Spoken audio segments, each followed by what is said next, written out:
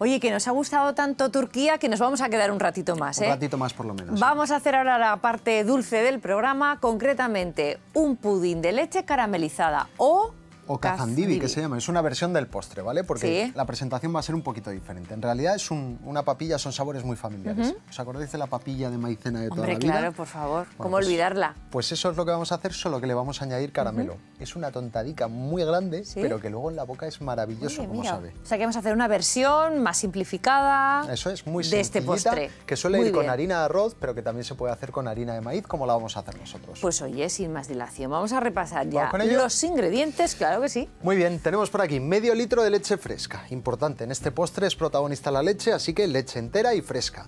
120 gramos de azúcar, media vaina de vainilla, suficiente para ese medio litro de leche, 35 gramos de maicena y por aquí tenemos 4 cucharadas soperas de azúcar para hacer un buen caramelo y un toquecito de canela. Así de fácil y así de simple. Con estos ingredientes y con nuestras manitas, eso vamos a hacer un homenaje otra Venga. vez de nuevo a esa cocina turca. Claro que sí. Lo primero que vamos a hacer, jo, la verdad es que este Sí. casi que es un homenaje a, a la cocina de, de toda la vida. Porque Hombre, yo pero claro. Recuerdo mucho, mucho, mucho esas papillas que me hacía mi madre de, de leche, azúcar, maicena, así espesotas y que me ponía como el Kiko y que cuidado, que si te las llevabas a la boca demasiado caliente, Sí, te escaldabas. oh. Era una cosa... Yo también. Ahora, es verdad que yo con los grumos era muy exquisita, ¿eh? Ni Ojo como, ojo como viera yo un grumo en la papilla de maicena, Claro ¿eh? sí. Ojo ya que, vamos, ya despertaba la ira en mí, ¿eh? Ojo. No sé si tanto como ira, Sí, pero sí. la verdad es que mola mucho más cuando está bien finita. Claro. Lo que vamos a hacer, lo primero de todo es abrir la vainilla. Vamos a poner la leche, como siempre Sí. hemos remojado la olla con agua. Ponemos la leche y vamos a sacar el interior de la vainilla. Abrimos por la mitad, Eso rascamos y nos quedamos solo con la sustancia, con esas pepitas negras, que es lo que tiene todo el saborcito. Con lo cual esto, Muy bien, sí. bueno, pues es la papilla de toda la vida de madre, pero ya con esto Empieza a cambiar la cosita, Exacto. empieza a cambiar la cosita. cambia un poquito. Le ponemos los Ajá. 120 gramos de azúcar, Sí. que para medio litro de leche es un toque dulcecito, en su punto justo. Muy bien.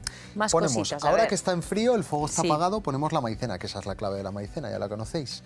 Tenemos que ponerla siempre en líquidos en frío, porque si lo pones en caliente es cuando salen los grumos, si no hay que meter Que batidora. no queremos. Uy, ya, ya, ya. no. Y además, en cuanto metes la batidora, por lo que sea, las propiedades de la textura ya cambia y ya no se es queda que con no el es mismo lo mismo, por eso te digo que yo era una fanática de la papilla de maicena y tenía que estar en el punto medio, además, entre muy líquida y muy densa y muy espesa, o sea, un punto medio Muy y bien. sin grumos, por favor, vamos. Pues esto le pasa un poquito como las Sí. croquetas. Cuanta más maicena lleva, más rápido espesa, pero Sí. luego el sabor penaliza. Aquí lo mejor es, ahora ya encendemos el fuego y lo mejor Sí. es poner un fuego que nos dé tiempo a menear y que no salgan grumos, pero luego si queda muy líquido, seguir hirviendo, seguir Vale, hirviendo. y así regulamos, ¿no? Eso es, al final evapora, espesa más, pero es diferente a echar mucha maicena. Mejor Vale. que evapore y quede cremosita, Pues como mira, una mejor. bechamel de croquetas. Sí, sí. Es lo mismo exactamente.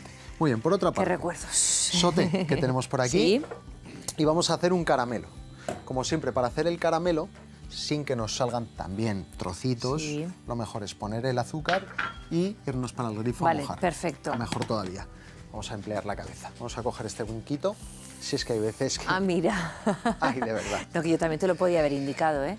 Pero Bueno. bueno, siempre le da más movimiento y dinamismo al programa, ¿eh? Eso es. Eso de verte para aquí, para allá, los paseitos, en fin. Está muy bien porque además vamos quemando las calorías. del Claro, sí, ya te digo. Que hay veces que a los cocineros nos dicen, bueno, antes se llevaba mucho el cocinero que estaba así Sí, un poquito más fondón, pero hoy en día los cocineros estamos todos bastante esganglillados, bonito adjetivo Es- calificativo. Me gusta mucho. Y hay gente mayor sí. que me ve y me dice, ¿tú cocinero? Pero sí está muy flaco tú para ser cocinero. Tú Ah, no, puede ser, no puede ser. Y luego que también, ojo, que la tele engorda, ¿eh? Sí, Los pasa nada. 16 novenos, ese formato así achatado, Sí. pues no, no ayuda mucho tampoco. Es Las pantallas de plasma y estas bastante. cosas. Yo me veo en la tele y digo, mira, si Y avejenta que- también, ¿eh? O sea, que si nos veis al natural, Somos- mo- más jóvenes, Que sepáis, más jóvenes y más y más, ligeros. estilizados. Claro, totalmente. Y medimos dos metros diez cada uno. Pone canas también la tele, o sea, todo esto que veis aquí sí, sí. es el efecto No, de la tele, que es un- Es un efecto óptico, ¿verdad? Es así. Bueno, tenemos por aquí el caramelo Sí. y la papilla. El caramelo vamos a bajarle el fuego porque te- queremos tener más o menos a la vez las dos cosas. Sobre todo aquí, sin dejar de remover, levantamos el Sí. hervor y cuando volváis en ese momento vais a ver que espesa y coge esa textura de papilla Ay, que nos bien, gusta tanto. bien.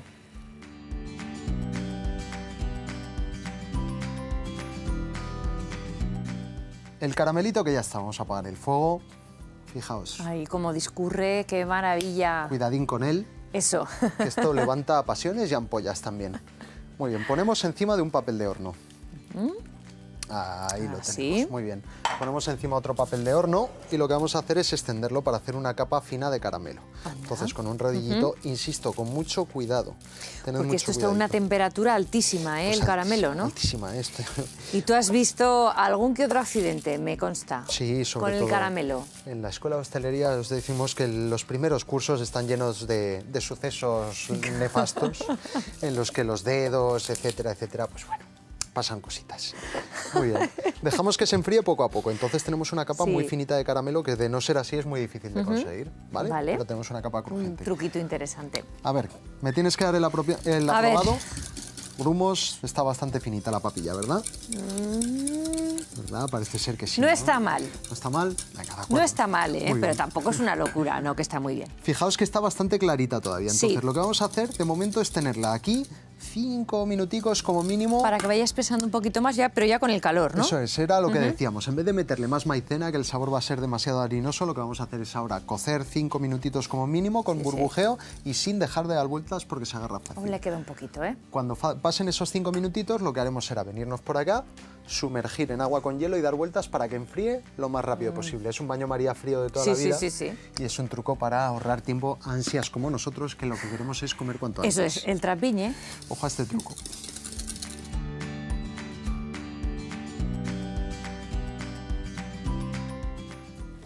Ya hemos metido el pudding que está templado, no frío del todo. Muy bien. La papilla, mejor dicho, eso es. Y lo que hacemos, cortamos por aquí y vamos a poner en un ah, muy recipiente muy, bien. clásico, además. Muy también de madre el recipiente. Ahí está. Muy bien. Cubrimos todo el fondo con nuestra papilla. Recuerdo, Ha cambiado la textura, ¿eh? Sí. Después de haberla dejado un ratito ahí cambia, que cambia templara. bastante. Eso es. Recordad Sí. que esas motitas negras son de la vainilla que le dan un toque inconfundible. Sí, Y aquí, si os fijáis, lo que hemos hecho es el caramelo lo hemos despegado del papel de horno y nos queda una capita muy fina. Así tal cual, la verdad es que se agarra un poco en el diente. Pero, lo claro, que tenemos que hacer es repartir. O sea, vamos a recomponer como si fuera un puzzle, ¿no? Más o menos. En definitiva, se trata un Sí, poco sí. de cubrir toda la superficie con un poquito del caramelo. No pasa nada si queda un poco irregular, ¿eh? Sí, es una cosa así, un poco, un collage. ¿Esto se llamaba collage, Aitana? Que yo de esto no Sí, sí, sí. Me, me recuerda más eso a un puzzle, ¿no? Si fueran las piezas diferentes sería más un collage. Muy bien. Es verdad que ten- de una composición diferente. ¿te Sí, refieres? sí, sí, Es sí, cierto, es claro, cierto, claro. Muy bien. Yo ya te he comentado en alguna ocasión que en trabajos manuales en el colegio me las Que no veía y me te- las deseaba. Oye, pero seguro que tú tuviste que hacer el famoso mapa de la península ibérica con bolitas de papel de tipo esto, ¿no? Pues no papel de seda, ¿no? Pues algo me quiere sonar. Hombre, claro, por favor. De verme las, las comunidades autónomas, cada una iba de un color y venga y venga a hacer bolitas con el papel de Qué seda. mal se me daba todo eso. Algo me quiere sonar de verme envuelta mi cara en papel de Sí, sí, sí, con el pegamento, un ese pegamento y medio famoso ahí los por dedos. todo, por los dedos, efectivamente. Un, Un cuadro, mejor la cocina. Muy bien, sin lo que duda. vamos a hacer ahora, ponemos el soplete A ver, Ahí está. Y es importante, ahí está. Sí. Darle con la puntita del soplete. ¿Qué es lo que ocurre ahora? Que el caramelo, no sé si lo estáis viendo, pero funde y se adhiere. Sí. Y diréis, bueno, y para todo esto hacemos el caramelo. No tiene nada que ver con la textura si hubiésemos echado el azúcar tal cual a lo que está sucediendo ahora, porque ahora el caramelo volverá a enfriar y se hace una capa fina, fina, fina de caramelo maravillosa. Y esto sucede en dos, tres o sea, minutitos. que este esfuercito merece la pena. Sin duda alguna. No tiene nada que ver. Lo podéis hacer también, ¿sabéis con qué? Y ¿Con queda súper rico con el arroz con leche. Es una auténtica maravilla. Ah, mira este truco. o sea, es una caramelización que va por separado. Eso es, ahí está. Ponemos toquecito de canela molida. Increíble, como una cosa tan sencilla puede estar tan buena. No dejéis de hacerlo. Qué bueno. Oye, pudding de leche caramelizada hemos hecho.